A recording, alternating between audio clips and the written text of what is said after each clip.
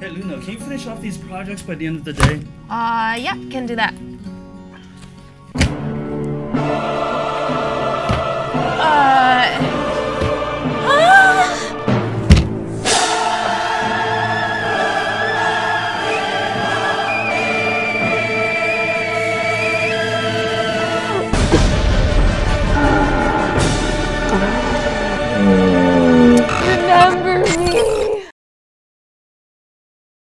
Only do so much at once.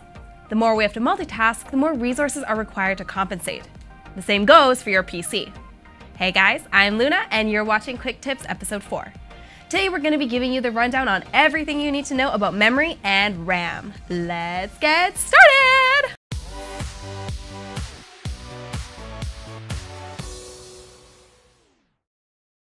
Now before we go any further, what exactly is RAM? When building your PC, one of the most important aspects to pay attention to is RAM, which stands for Random Access Memory. Essentially, RAM is a type of computer memory which allows your PC to temporarily store information that it might need to access at a moment's notice. A common point of confusion that you'll probably come across sooner or later is the difference between memory and storage. The easiest way to think about it is like this. RAM is like speaking, whereas storage is more similar to writing. When you speak, there's no recorded history of what you're saying. But when you write, everything you write down will be stored on a piece of paper uh, until you decide to dispose of it. In the same way, RAM functions by temporarily storing and recalling data for your system's immediate tasks, while storage stores your information on a long-term basis in your storage devices, like your hard drives or SSDs. Now in terms of speed, I probably don't need to tell you that speaking is way faster than writing. What this means is that RAM is actually exponentially faster than storage. Although the difference in speed between speaking and writing is probably much smaller than that of RAM and storage. But that just goes to show how crazy fast RAM really is.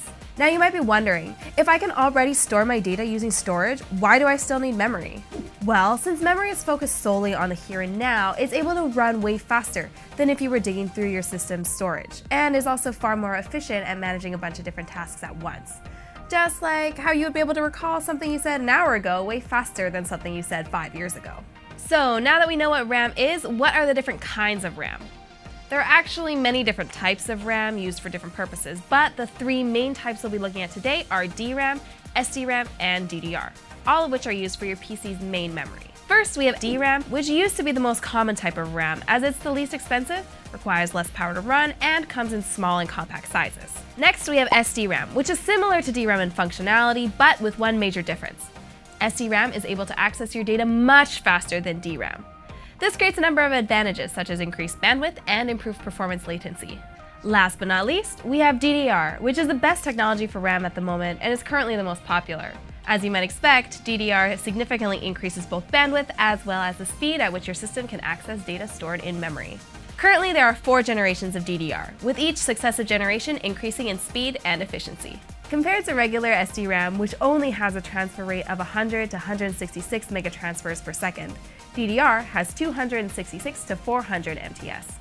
DDR2 has 533 to 800 MTS. DDR3 has 1066 to 1600 MTS, and DDR4 has 2133 to 3200 MTS. But that's enough of that. Let's talk about what type of RAM you should get. First off, we're going to be looking at single channel versus dual channel memory modules. Just looking at the names, you might think that dual channel is better than single channel, which is absolutely the case. Now you would think that dual channel is twice as good as single channel in terms of performance, but the difference is actually much smaller than you might expect. So, as with many other components, it comes down to what you're using your PC for. If you're just surfing the web, watching videos, or doing work on Microsoft Office or something, you probably won't feel much of a difference between single and dual channel modules. Now, if you're a gamer, graphic designer, or video editor, you definitely be better off going for dual channel, as you'll actually be able to feel a considerable difference in performance. So how much RAM do you actually need?